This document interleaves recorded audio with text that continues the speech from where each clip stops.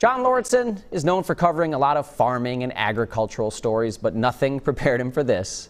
In tonight's Finding Minnesota, John takes us to Brooten in Stearns County for a much different kind of farming, one that's a little squirmy.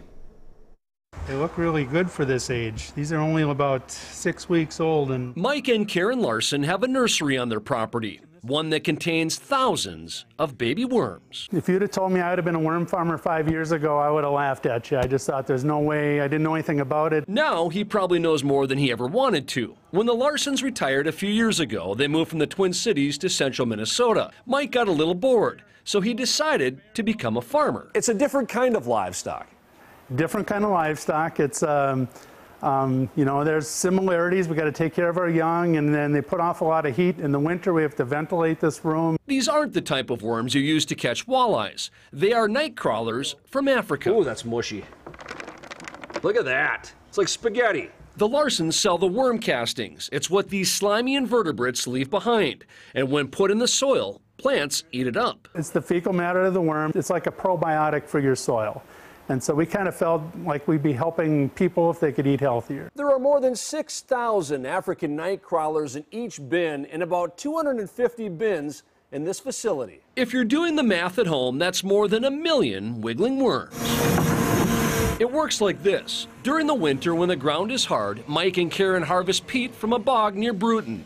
It's like bedding for the night crawlers. We have to have the right amount of moisture, the right amount of feed. All that's right. Everything else kind of falls into place. The night crawlers wouldn't survive our colder climate, so the temperature in the worm room is between 70 and 85 degrees. I always called it my tropical paradise in the winter. So we'd come in here, it'd be 74 degrees with 80% humidity.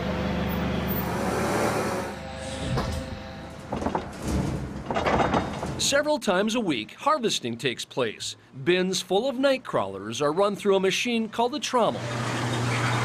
It separates the castings from the cocoons and the worms. Then the night crawlers go for a bit of a ride, like the world's smallest cliff divers, back into the bin. Kind of like a ride at Valley Fair for worms. That they, we hope that they're liking the ride. In addition to organic worm castings, the couple also sells something called worm tea. You wouldn't want to drink it, but the plants love it. This is what the tea looks like when it's done.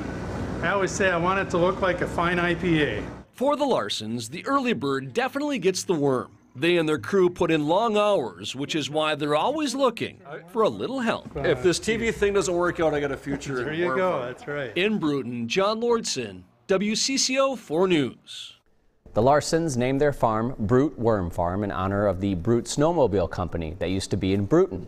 Couple offers tours of their facility. Maybe you can get a handful, like John.